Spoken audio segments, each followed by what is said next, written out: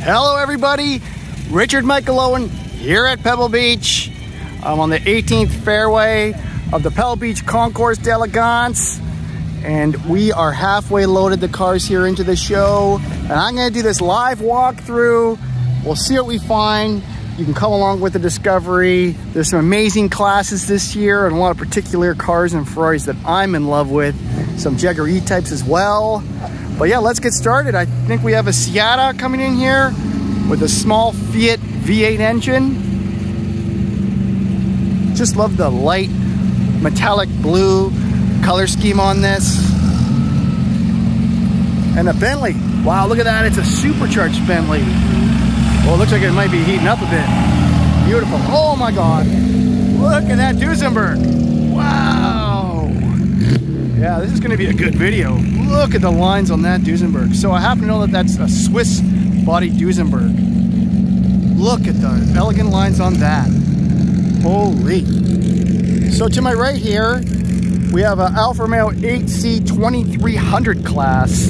These were definitely the supercars of the pre-war era. And it's where Scuderia Ferrari started their career racing these cars. And I think some of these Alfa Romeos are actually ex-Scuderia Ferrari cars. See, we've got four of them here.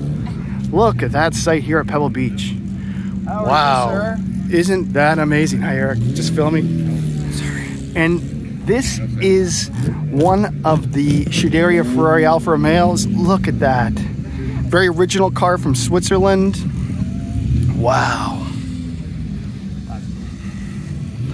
Oh, got a GTO casually coming in. For the Le Mans class. There's a Le Mans class this year.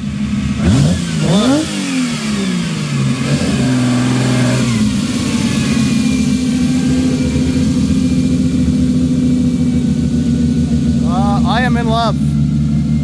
That is incredible. All right, back to the Alfa Romeos. Uh, yeah, so this is a Zagato bodied 8C2300 and another one more in road going trim. The distance here, we could see some V8 Ford classes. A lot of cars are wrapped up. I'm not gonna go check those out. But yeah, I'm in just in love with this ex-Scuderia Ferrari 8C2300. Oh man. This is where the Ferrari shields first came from. This, this one right here. Look at that. I love the livery of this blue one as well. But yeah, we have a whole field of dreams to explore. Whoa, look at the Bugatti rolling in. Look at that Type 57 Bugatti. Piano wire wheels. Wow. I'm gonna follow him for a bit.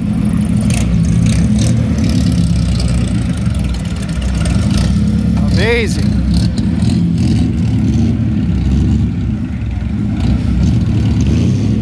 Oh, okay, there's a French car over here I really like. It's called a Voisin, kind of an Art Deco design go check it out. Oh, look at this though. Man, look at all these cars. Yeah, field of dreams here at Pebble Beach Concours. Uh, life is good. Okay, so this Aerodyne here, wow. It's a French Art Deco design. And uh, see the sliding roof here with the portholes and the color scheme.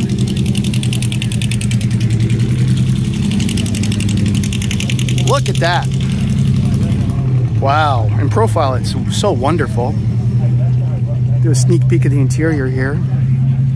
Look at the patterns in there. Look at that. Amazing. Here, I'll just show the front view of this car. Look at that. I'm sorry. Don't mean to ruin the shot. And then we got a Horch here. Sport Cabriolet. Like the lines on that. We're in the European Classic class. We got a Jaguar SS100. And uh, I think a Talbot here. It's a British Talbot, I believe. And a big Hispano Suiza.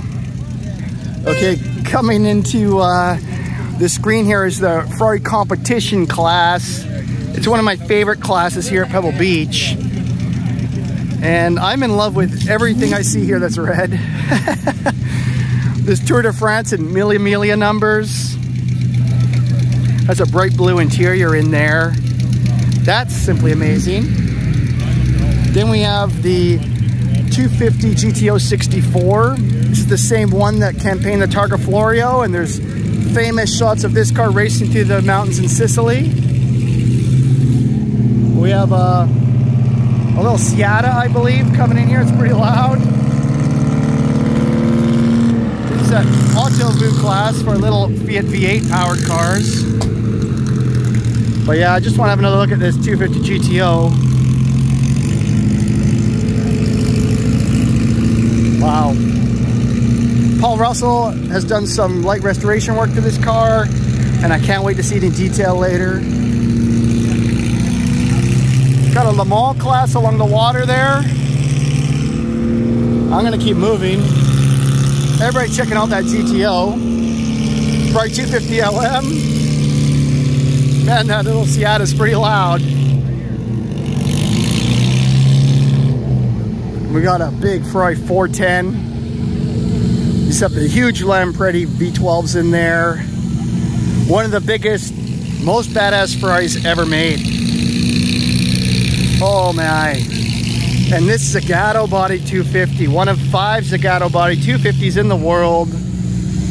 Again on Mille Miglia numbers. This is the first Ferrari to have um, an advertising on the side. In this case, it's Idris Sparkling Water. And then we have a Ferrari, I believe a six cylinder Ferrari, an inline six cylinder Ferrari from, you can see Scuderia Parravano. Very unusual, Scaglietti design. Yeah, I'm in love with that. And then the overall winner of the Mille Miglia, this is a 340 America. I forget what year it won. Yeah, that's a pretty special car. Oh, look at him behind here. I think this is an ex Le Mans Jaguar C-Type. See a Bugatti pulling in here. But yeah, I think this is one of the overall winners from Le Mans. Next to a beautiful Works Testarossa. Next to Bentley Old Number 2. So pretty impressive Le Mans class here at Pebble Beach on the water. And of course that 250 GTO that we saw rolling in. Yeah, pretty impressive. Nice sight here at Pebble Beach. Okay, look at the, got a bit of a, a jam up here, the best kind. I'll let continue down the field. There's lots more to see. This is a pretty peculiar Ferrari. It's a rear engine Ferrari, one of the first rear engine Ferraris with a V6 in behind, I believe.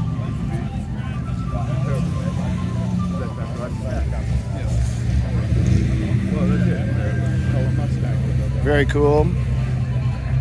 See the interior here, it's all hammer tone.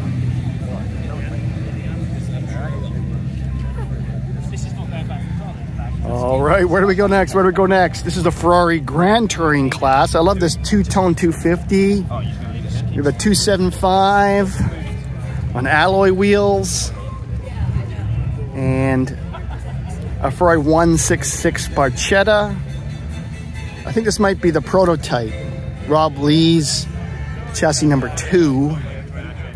And it has an unusual front grille.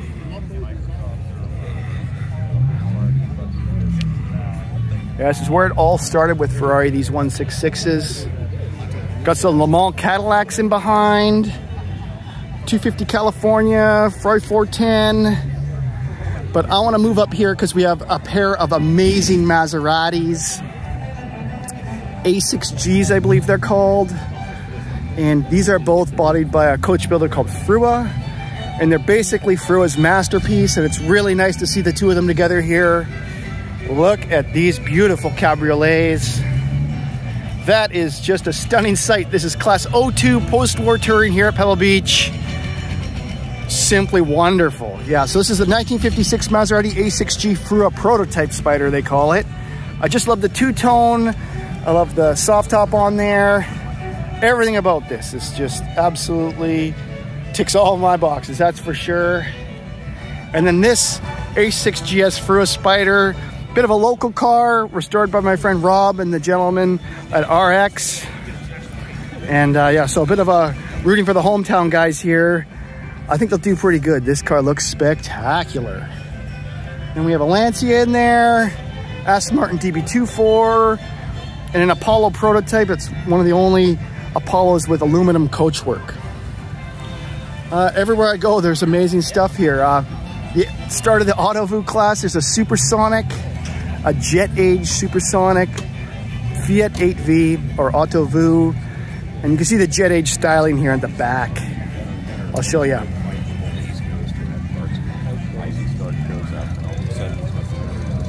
Yeah, look at the, the kind of the, the nod to the jet age and the fins and the way the lights are done. Very neat, cool car. This is a dual Ghia, I believe, with custom coachwork by, by Ghia.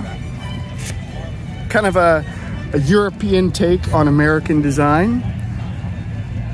Very unusual Bertone concept. This started the wedge trend for the Fiat X19. Okay, I'll show you the front of this. It's too wild. Look at the interior. The speedometer is a compass there. Oh, there's some other great cars in this class. Look at that.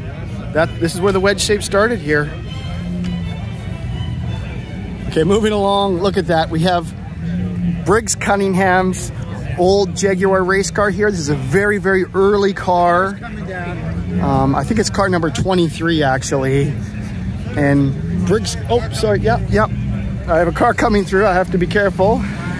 A beautiful Delage. Look at that. Look at that. With a Swiss coachwork body by Graber. There's a Graber classes here. But yeah, back to this E-Type. So Briggs Cunningham had his mechanics outfit this E-Type for racing, and it's one of the first racing E-Types. Look at this Bandini coming in.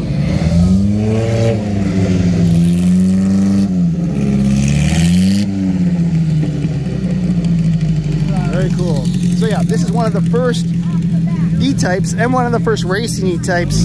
It's often called the semi-lightweight but in the Jaguar communities, it's called the, the heavyweight in certain instances because it isn't one of the later cars that was built for competition.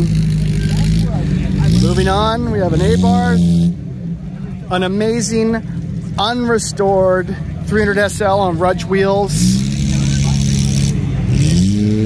And then what has to be one of the best E-types I've ever seen. This is number 23. It comes from Switzerland. It's one of the earliest unrestored E-types. It also was a Briggs Cunningham car. Briggs Cunningham drove this car to Le Mans. It was one of three cars he got from the initial production run, and it's totally original. It has really, really weird peculiarities, like the covers here for the outside bonnet latch. Only the early cars have this. Hi guys. And you see the original interior. An amazing E-type here at Pebble Beach. Oh, look at this Duesenberg rolling in. Wow. An amazing Duesenberg. I, that could be best of show right there rolling in. Look at the way the louvers are done on the hood. Everything about this car. It's a Figoni bodywork. So it's French coachwork on a Duesenberg on an American chassis. And I think RM Restorations just did a meticulous full restoration on this car. And uh, I think it's going to win best of show. But let's see. We have a lot more cars that are going to show up. You know, behind this amazing Duesenberg is a class that really has my heart. It's Talbot Lago T26. So these Talbot Lago T26s were really spectacular cars that were made by Talbot Lago in the early 50s.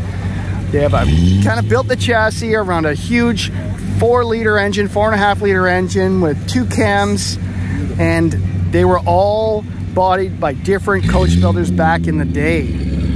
So you look at this one, this one has, I think, Belgian coachwork by Pennock. Yes, Duesenberg's pretty loud right here. Yeah, so this is one of the more unusual ones. But if we go down the line here, there's some really stunning Talbot Lago Grand Sports that are showing up. I think there's nine that are going to be here today. This one has a Saoutchik body. It is utterly incredible. I just love the fastback design of this. And next to that is another one with Figoni bodywork. Figoni Falaschi. This was built for the Zipper King. And it is really, really a sight to behold. When I go to the front end here, you'll see what I mean. It's a Cyclops car and has little accents, a nod to the to the the Zipper King's uh, business. Yeah, let me see if I can get a good shot of this one. I just love the overall design of this car. It's one best to show up many European concours. And yeah, I just love it. Very similar lines here. This is the Fran take kind of on the same body. You can see they all kind of have that similar fastback design.